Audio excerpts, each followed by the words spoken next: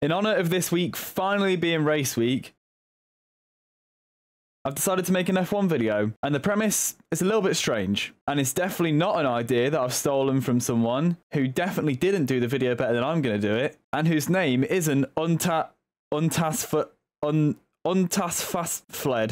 To be fair, that probably isn't actually his name, but it was his idea that I'm using, although I am changing it up a bit. Basically, what I'm going to be doing is I'm going to do a 10 race season, but each race, the point system is going to be a bit messed up. And at the end of each race, I'm going to spin this wheel and that will decide which point system is going to be used for that race. However, I'm going to do that when I'm editing, so I don't actually know how the championship's going to look as the season's going on. So the point systems that I'm going to be using across the season are normal points, reverse normal points, meaning last will get 25 and 11th place will get 1. Position points, so whatever position you're in, you get that many points. Reverse position points, double points, minus 10 points for every driver that finishes the race, and you get plus 10 points if you DNF in that race. IRL race points, so however many points each driver got in the real race in the 2021 season, they'll get that many points here. Split points outside in, which means the points will go from 1st to 10th, be 25 to 1 like normal, and then from 11th to 20th, it'll go 1 to 25. And then split points inside out is the same, but the other way around.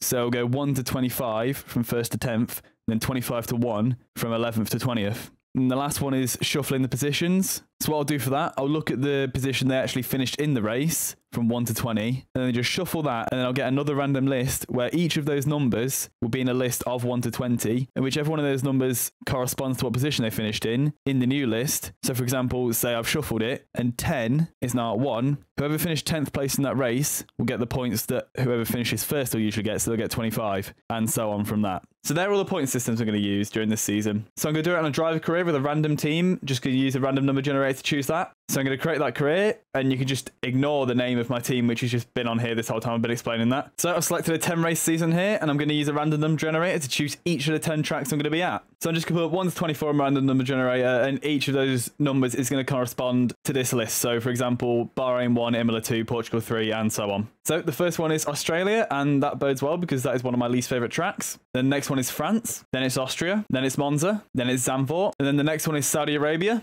then we got Mexico. Then we got Portugal. Then we got Canada. And the last one is Spa. So looking at this, it's not too bad. I have managed to escape Monaco, which is a good thing. Although we have got other cursed circuits on this game like Portugal and Zandvoort. But overall, not the worst selection of races. So I'm just going to be doing one-shot qualifying with short races just to get through this quickly. I'm going to keep R&D on, which will make it more interesting. And to make it a bit more challenging, I'm going to have recovery mode off, no flashbacks, car damage and damage rate both on simulation, and low fuel mode on hard. And the AI difficulty will be 85 if you're interested, because that's what I play on. Those are all the settings, so I guess let's get into choosing our team. Actually, I've got to create my driver before I choose my team. I hate Mick Schumacher for the fact he's got number 47 because that's my favourite number and I can't beat it. All the other numbers around it are alright, but 47's taken. Oh, and obviously 44.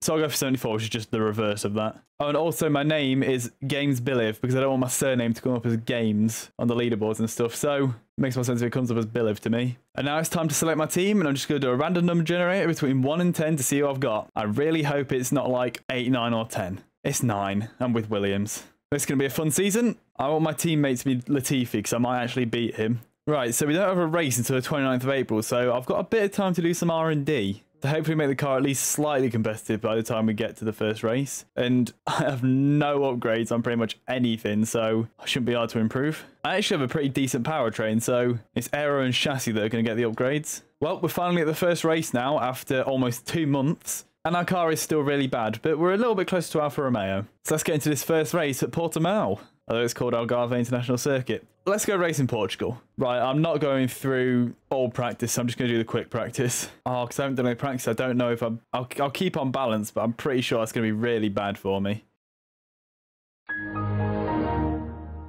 Oh, I've got ghosts on. That's annoying because they're just like in the way and they distract me.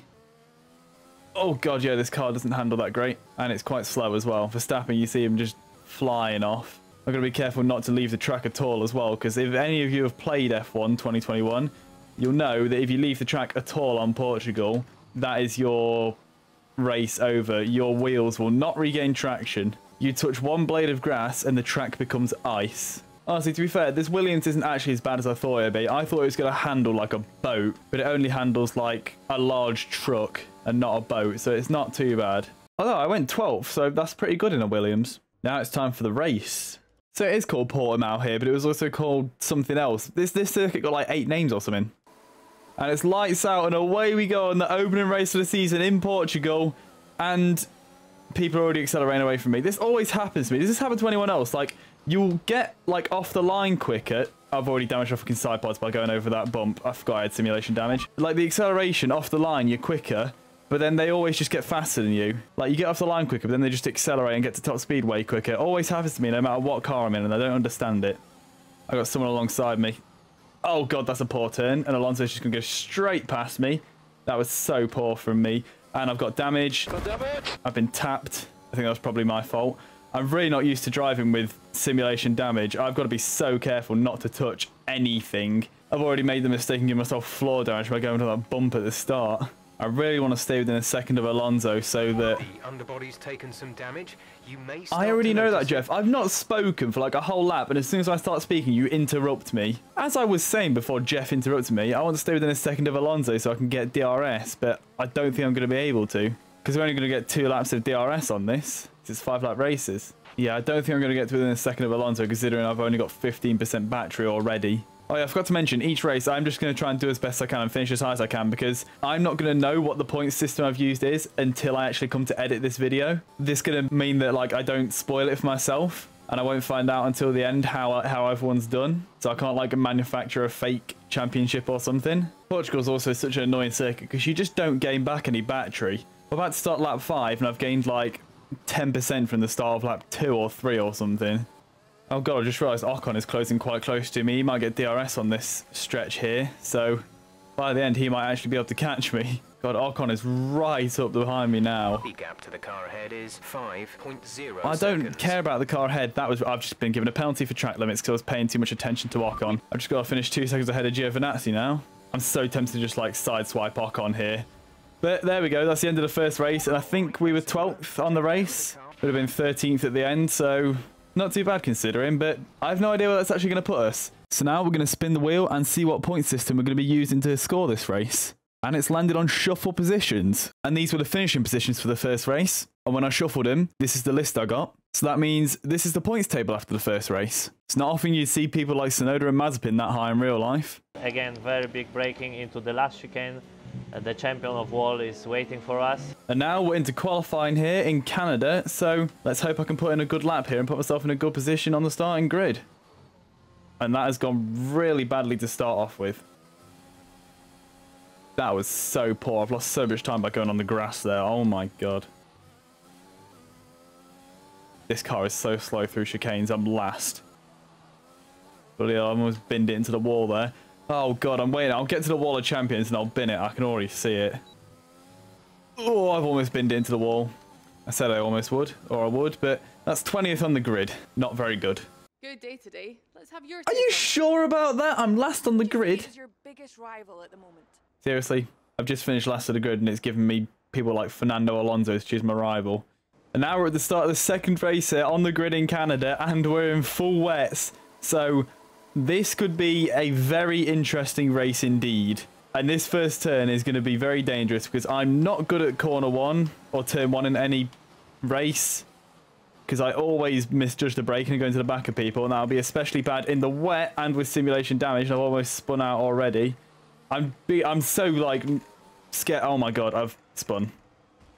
And I've damaged my wing by tapping the wall ever so slightly there. Well, this race has gone really well to start off with. I think I can already say I'm coming last in this race. Because I'm going to need to box. Because in full wet conditions, with a yellow wing, this is going to be impossible as anything.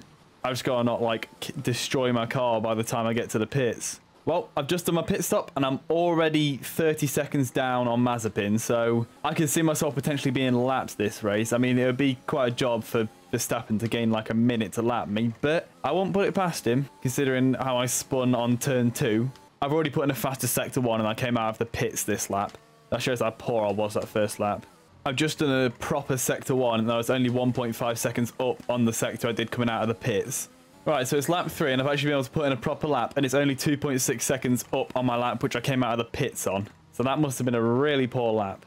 My god, I've somehow managed to go worse in that sector than the previous lap even though the previous lap was awful. I'm not having a good race here. Oh, and Verstappen's already finished. Nice. Just give me 20 minutes and I'll be there. And as we round the final corner, and I do cut the corner slightly, we're going to come across the line on the final lap and I get my personal fastest lap, but it was still like two seconds slower than Verstappen's fastest lap, I think. And I come last, so that's not great. But it could end up being good for me because I could end up getting one of the good point systems on the shuffle. So I don't know if it's going to be good or bad at this point. I just got to hope I get lucky with the point system. So let's hope I do get lucky as I spin the wheel here. And the point system I'm going to get is split points inside out. And as you can see here in the second column, these were the finishing positions in that race, which has meant I've been very unlucky and I've only got one point for this race. And as you'll see here, these are the points that everyone got for this race. So now we go from things looking like this after the first race to now looking like this after the second race. Non,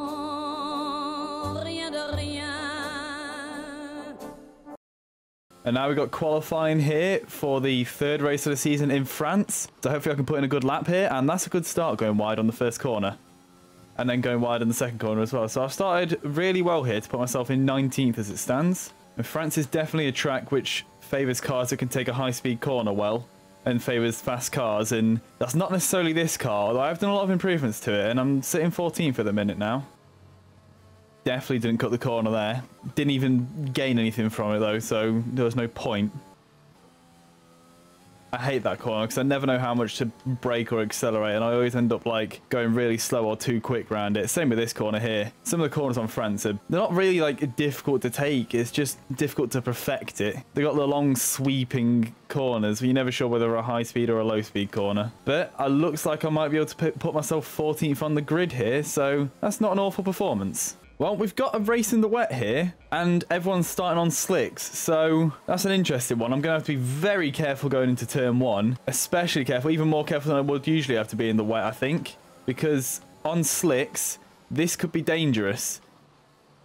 And I've hit Ocon, and I've somehow not managed to get any damage there, which is lucky. But I am slightly worried about doing this wet race here on slicks. Although I have done a, like a nice little double overtake there on Ocon, and I've taken damage from it.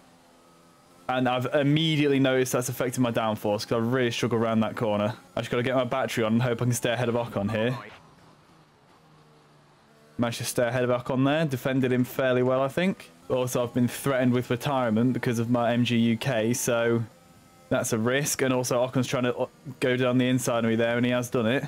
Oh god, there's someone else there. I was about to go and try go and overtake Ocon again, but then someone else came up the inside of me. Who is it? I think it's Stroll. Yeah, it is. I, need to stay with Ocon here. I hope DRS is on. I know it's wet, but we're not in. We're not using wet tires. So does that mean this conditions? The conditions are acceptable for DRS? Hopefully it does. See, in a straight line, this car's actually pretty decent because I know I've got my ERS deployed, but I've gained about, what, two tenths on Ocon there, maybe more down the straight. My car's like fairly quick, it's just not great anywhere else. I'm sticking with Ocon fairly well here, so hopefully they'll activate DRS and I can able to get potentially closer to him and potentially pass him.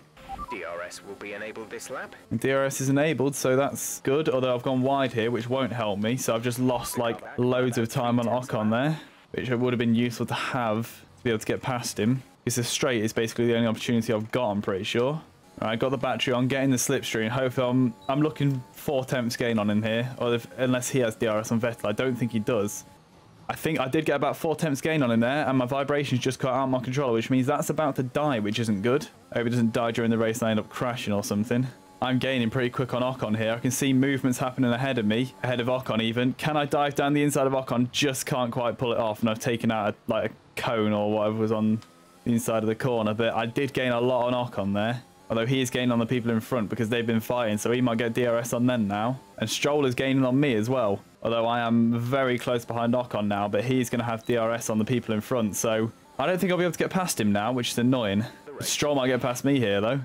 He's not going to do it here, but he is very close behind me now, so I'm going to do a good job to defend against Stroll here. I'm getting really affected by the dirty air and my underbody damage here, I think, so I'm really struggling on that corner, and Ocon is quite far ahead of me now, and he's going to have DRS, so I don't think I'm going to catch him, so now my worry, my worry has to be not letting Stroll overtake me. So as we round the final corner here, I'm not going to be able to catch Ocon, but I don't think Stroll's going to be able to catch me. So I think that is 14th place secured for this race in France, which is a decent result, I think. So let's hope that decent finishing position can secure me some good points when I spin the wheel. and it's just landed on split points outside in. I thought it was going to land on normal points and I was worried, but this isn't too bad. Would have preferred it last race though. So, as you can see in the third column here, these were the finishing positions for this race. And that means these are the points that all the drivers got for this race. And as you'll see, this hasn't really helped me at all because the table has gone from this to this, meaning that I'm the only driver who's still in single figure points. So I really could have done with the last two races, the point systems being the other way around, because I would have got significantly more points. But it's still creating an interesting championship already. Tsunoda and Mazepin in the top two, and I think Tsunoda's been top the whole time. And we've got people like Verstappen, Norris, and Leclerc all down near the bottom as well. But anything could happen. Okay, what damage do you have? Talent. And now we're in qualifying for the fourth race of the season in Austria. And I'm pretty strong on this track, so I'm hoping for a good result here, although I have forgot to change my batteries, and having no vibration in my controller is genuinely a hindrance to me. Gone a little bit wide there, which won't help my time. I was doing a pretty good lap as well. I was almost in 10th at one point. Well, I think I'm going to be in 15th here, which is actually quite poor for me. I should have done better on Austria, but I'm blaming having no vibration in my controller. Now we've got the fourth race of the season here in Austria, and I'm hoping for a good race. As I mentioned in qualifying, Austria is one of my stronger tracks, so I'm hoping to have a good race in this one. The first corner in Austria is always quite dangerous, though I have managed to do pretty well and get past a couple of people there. Although I've not got a very quick car, so I can't maintain my position on Tsunoda, and I'm not going to be able to stay on the outside of there. I'm going to dive up the inside here, up the inside of everyone, try and avoid contact, and I've done so well, and I've managed to put myself up into 12th place here. Could try and dive up the inside of Vettel here. That was brave. That was stupid. And he stayed ahead of me. And he's gained time on me. Yeah, that was not a good idea. I've got Ocon up the inside of me here, so I'm going to have to give him space. He's managed to get past me, but... Oh, I've gone way too wide there, and then someone else just got on the inside of me. I think it's Tsunoda. All those places I gained, I've just lost them. Going to dive up the inside of Tsunoda here. Maybe a little bit dirty. I've absolutely clattered into him. Didn't take damage somehow, and I managed to get past him, so I'll take it. And now it's Ocon again in front of me. I feel like I'm going to be plagued by Ocon for this whole video.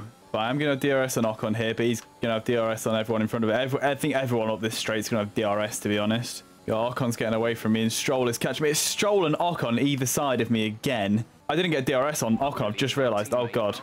if I don't keep DRS on him, that's going to be really bad for me. I've not got DRS, and I've not got enough battery to defend from Stroll. That wasn't English. I've not got enough battery to defend from Stroll. He's gone on the inside, which I didn't want him to do there. So I'm going to brake late.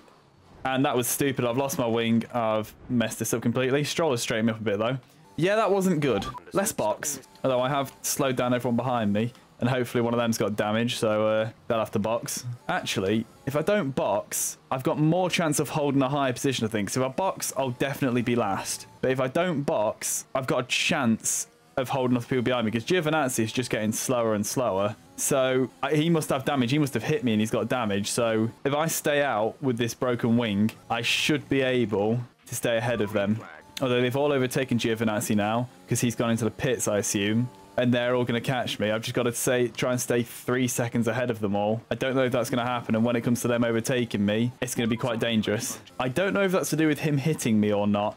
I've got Tsunoda right behind me now, and my turning circle's not good enough. I can't hold him off.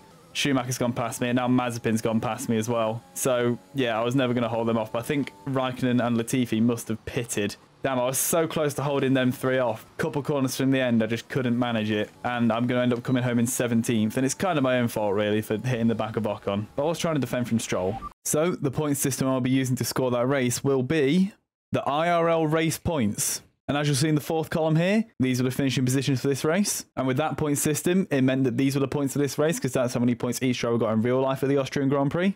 And that means the table goes from this after race three to this now after race four. And as you can see, I've still been a bit stiffed by it because I'm the only one still with single figure points. So let's hope that improves at some point.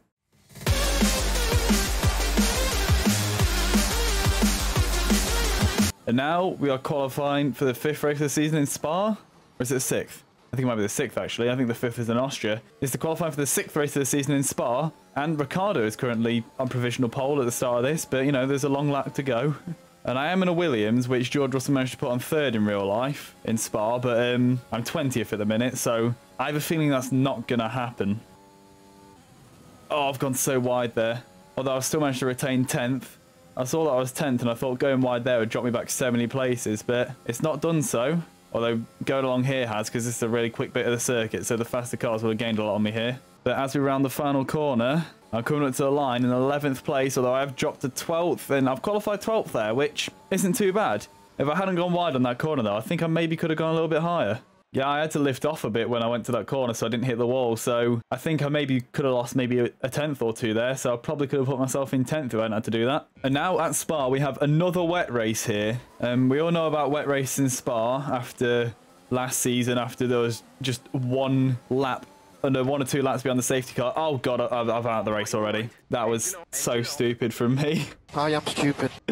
I was too busy recounting last year's race and now I'm out of the race. It's tempting to restart the session, but that'd be cheating, so I've got to retire from the session. So we're not going to race at Spa. So let's see how the race ended. Verstappen looks like he won. My teammate Latifi only beat Mazepin. And the three last people put in fastest laps over two minutes, which is slow. So I didn't quite manage the real life performance that uh, the Williams that wasn't Nicholas Latifi did in Spa. I didn't quite get second on the grid. Instead, I DNF'd. And now, ideally, I'd want to get the minus 10 finish plus 10 DNF points. So let's see what I get. And I've ended up with normal points, which doesn't help me at all. And those were the finishing positions after the race in Spa, which meant that these were the points that were allocated after that race, which meant the table went from this after race 4 to this after race 5, and it does change around quite a bit. But as you see, we are still rooted to the bottom on 7 points, so I continue to be quite unfortunate with how the points are falling. But anyway, as you'll be able to see, this video has gone on for quite a while, and I'm only halfway through the season, so I'm going to have to split this video up into two parts. So, if you enjoyed this video, leave a like. If you don't want to miss that next part, subscribe, and I'll see you in the next one.